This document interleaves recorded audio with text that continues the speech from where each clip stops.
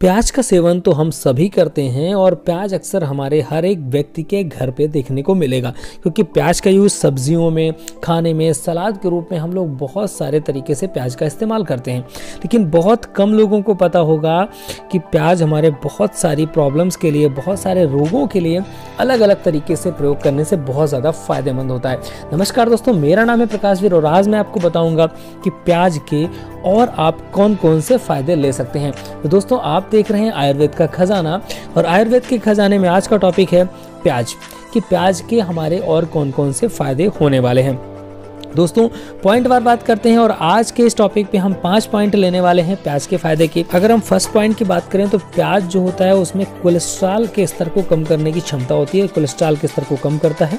इसमें anti bacterial गुण होते हैं और एंटी बैक्टीरियल गुण होने के कारण इसे खाने से पाचन स्तर में भी सुधार होता है और हरे प्याज में क्रोमियम भी पाया जाता है, जो कि हमारे लिए बहुत ज़्यादा फ़ायदेमंद होता है। सेकेंड पॉइंट की हम बात करें तो हरा प्याज खाने से इम्यूनिटी पावर बढ़ती है।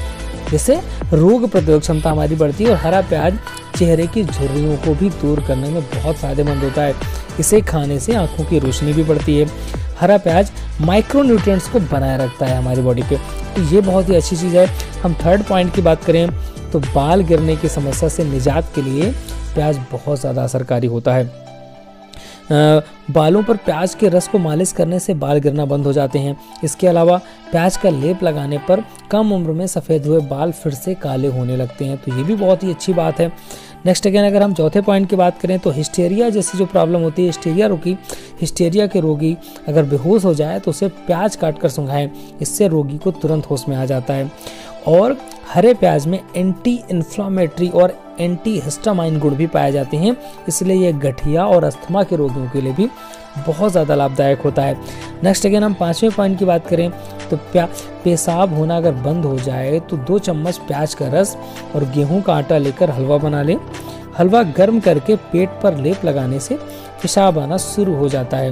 पानी में उबाल करके प्याज को पी रहे हैं तो इससे पेशाब संबंधी बहुत सारी समस्याएँ, जो यूटीआई की प्रॉब्लम्स होती हैं, वो ख़त्म हो जाती हैं। तो दोस्तों, ये थी हमारे आज आयुर्वेद के खजाने में प्याज के कौन कौन से फ़ायदे हैं, इनके बारे में हमने बात की। दोस्तों, इसी तरीके की यूज़फुल इन्फॉर्मेशन आपको हमारे चैनल पर मिलती रहती है। तो अगर चैनल के साथ अभी भी नहीं जुड़े हैं तो चैनल को सब्सक्राइब ज़रूर कर लीजिएगा। जानकारी अच्छी लगी हो तो अपने दोस्तों में अपनी फैमिली पर ज़रूर फॉरवर्ड करें। मिलते हैं फिर किसी नए वीडियो के साथ। नमस्कार।